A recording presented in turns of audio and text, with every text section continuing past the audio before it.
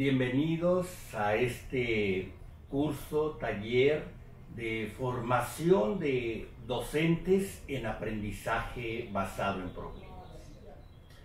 Eh, este curso, taller, eh, pues va a ser impartido por varios eh, tutores, entre ellos la doctora Guadalupe Soto, que ustedes conocerán, y un servidor, Adrián Martínez González. Soy profesor definitivo de tiempo completo de la Facultad de Medicina de la UNAM. Eh, hice eh, medicina general como clínico durante varios lustros, estuve ejerciéndola eh, y posteriormente hice el posgrado en en salud pública, en medicina preventiva eh, y actualmente estoy a cargo de la Dirección de Evaluación Educativa de la, de la UNAM. Eh, para mí es un gusto, es un privilegio dirigirme a, profesores eh, que están interesados en la educación médica este curso taller tiene como objetivo fundamental eh, que ustedes conozcan y experimenten el aprendizaje basado en problemas, ya que esta estrategia, esta metodología eh, requiere de capacitación. No nacimos sabiendo todo, sino tenemos que profesionalizarnos en estrategias docentes, quienes nos dedicamos a ella. Eh, vamos a analizar algunos fundamentos teóricos y metodológicos que facilitan la integración del conocimiento en la mente de los estudiantes, así como el desarrollo del razonamiento, eh, con el propósito de aclarar o solucionar problemas de salud, ya sea a nivel individual o a nivel colectivo. Y para ello vamos a utilizar esta extraordinaria, yo diría, estrategia llamada aprendizaje basado en problemas. Y todo esto con el fin de profesionalizarnos cada vez más en la función del tutor, para que cuente con la información y el conocimiento suficientes para realizar las funciones y las actividades que realiza un tutor con esta estrategia.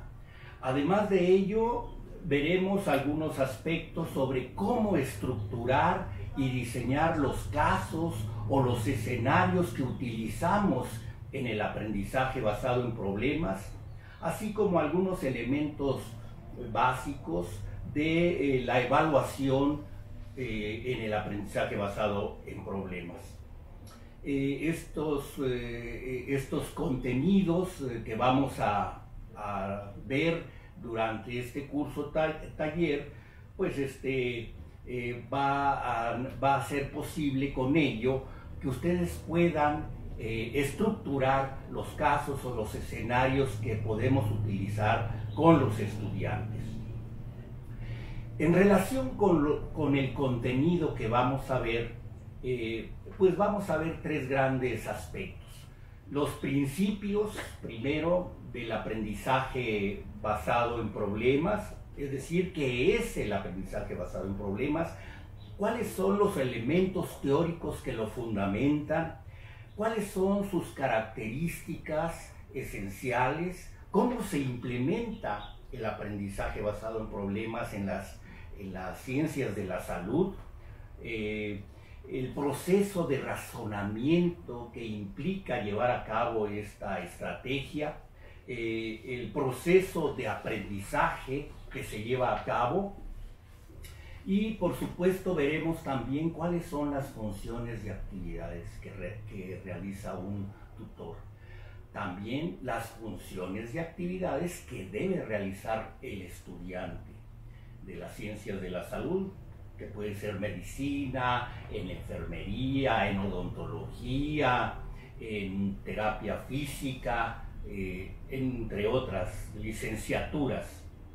Eh, además de estos elementos fundamentales del ABP, vamos a, ver cómo se diseñan los casos, cuáles son los lineamientos fundamentales que tenemos que eh, utilizar para construir casos o escenarios adecuados para que facilitemos el aprendizaje con los estudiantes.